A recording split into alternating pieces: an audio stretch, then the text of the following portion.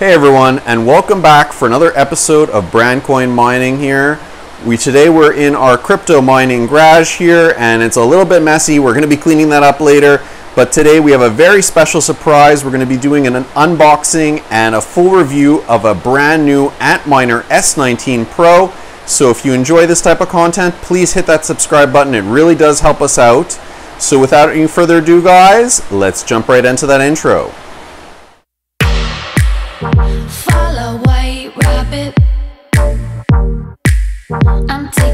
Taking call me Alice. Watch me grow taller. Yeah, rabbit's watches in his pocket. Yeah, he stays late. But he leads me, so I follow. Wandering around in Wonderland. Hey everybody, so today we're going to be doing an in-depth review of the Antminer S19 Pro straight from Bitmain and this is the 110 terahash model and we're going to be doing taking a look at the power consumption, the profitability, the heat and noise. We're going to be taking a look at where you can buy one of these miners if you're interested. So uh, now let's go jump right into that unboxing. So we are back and we've got our trusty pocket knife and we're going to be doing the official unboxing right now. So we're going to open this guy up here. Okay. And we got to open the sides as well here.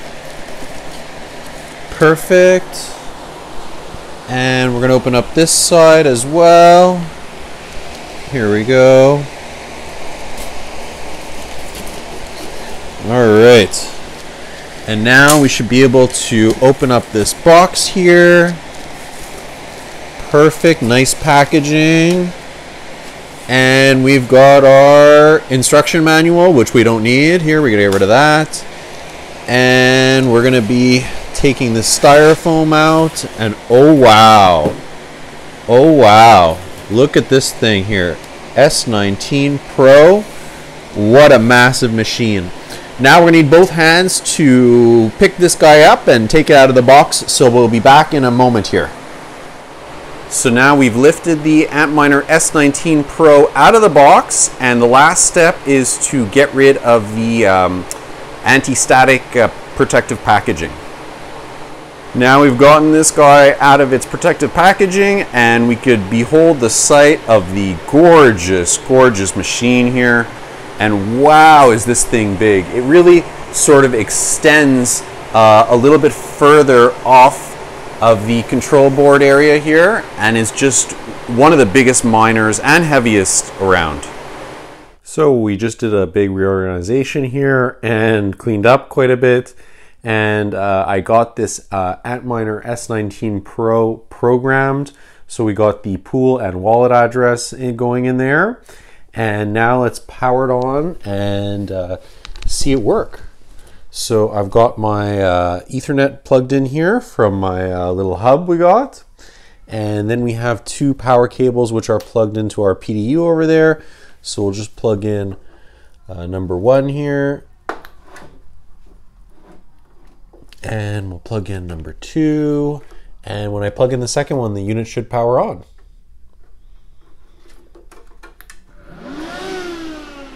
So there we go. Now it looks like it is going to start up and it's going to get pretty loud once this thing starts up, but uh, that's what I've, I've, noticed. Definitely putting out a lot of noise. These uh, Antminer S19s.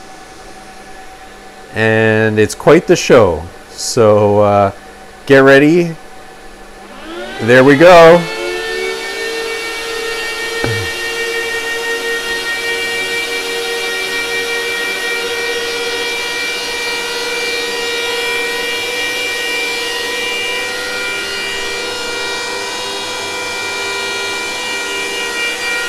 So this would not be great to have at home because it is so loud. It sounds like an alarm is almost going off. It will quiet down once it does start mining because uh, it is quite cool in here. These fans will only run like this if um, it's really, really hot. But during the startup process, which is doing right now, uh, the fans run at 100%. So yeah, uh, my family would not like if I had this running 24/7 at home at this volume.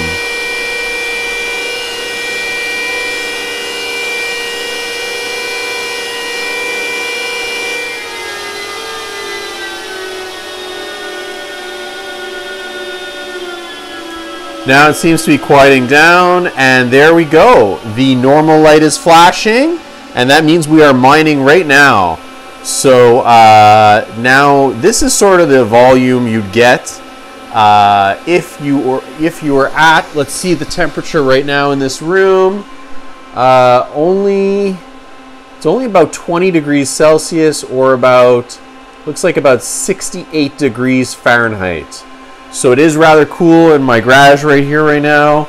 Uh, so this is actually really quiet. And uh, at this uh, volume, wouldn't bother anyone in my house at all. Okay, everyone, now we are back a few hours later after this thing has been running and it has gotten really loud again. Uh, the Brandcoin family is not happy. They say it's too loud because you could basically hear it everywhere in my house. And just this miner alone running, and we are back. We're at about 110 degrees Fahrenheit or nearly 45 degrees Celsius. So, yeah, this one miner, that's all I have running in here because of the uh, what happened with the merge. So, uh, this one miner can heat the whole garage up to 110 degrees Fahrenheit. That's pretty hot and very, very loud again.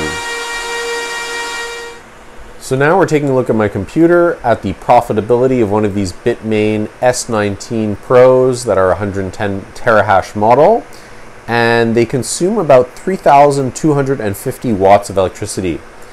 And this is all in US dollars right now. You can see you'd have an income of $9.22 a day and your electricity, if it were at 10 cents a kilowatt hour, would be $7.80 a day. So you'd only be profiting about $1.42 a day. And that is because we're in such a bad bear market right now. And you could see uh, if we look at like um, says September 30th, which is uh, yesterday, uh, profit was $1.21. But if we went back a little bit in time here, the profit was quite a bit higher. And that could also be, though, that they have been releasing more and more of these miners, and they even have uh, a more powerful model now called the uh, Antminer S19 XP instead of the Pro.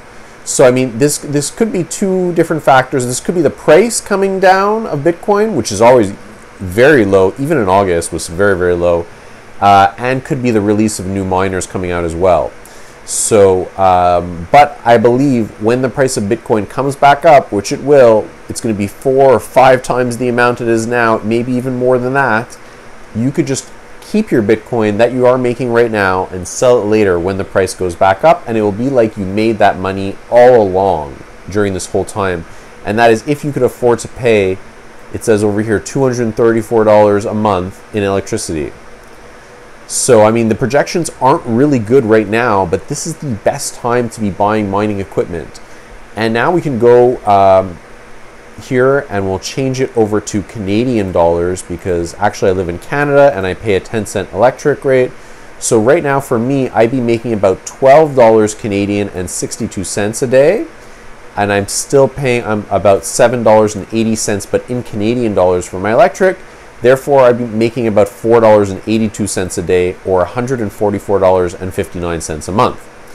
And again, I could believe I could be making at least $600 a month with these and maybe more when the price comes back up, uh, if not much, much more, $1,000 a month, or who knows what it could really be.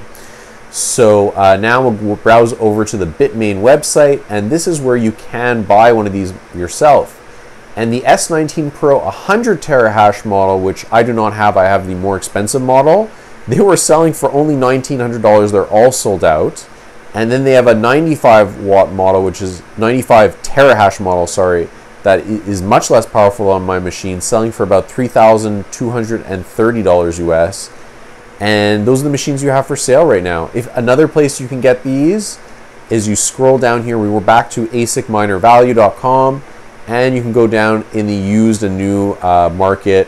So these are selling for about $4,500 Canadian to about close to $5,500 Canadian. But another thing that is not included when you go uh, shop with these guys is often the duties and taxes when you receive the miner is not going to be included uh, and the shipping. So always calculate that you're going to be paying quite a bit more than $5,000 or $5,500. You could easily end up paying uh, around $7,000 for one of these machines, if not a little bit more even. Uh, so you always have to keep that in mind. Uh, don't um, overextend yourself. Even though these are very, very good prices for these machines, these machines were going for over $10,000 not very long ago. Um, so anyway, just don't overextend yourselves and go slowly, especially it, since it could be years from now that the prices do actually come back up. Another interesting uh, place where you can get, find these miners is eBay. Yes, eBay, but you really have to watch out for scams as I've been, uh, people have tried to scam me many times at this point.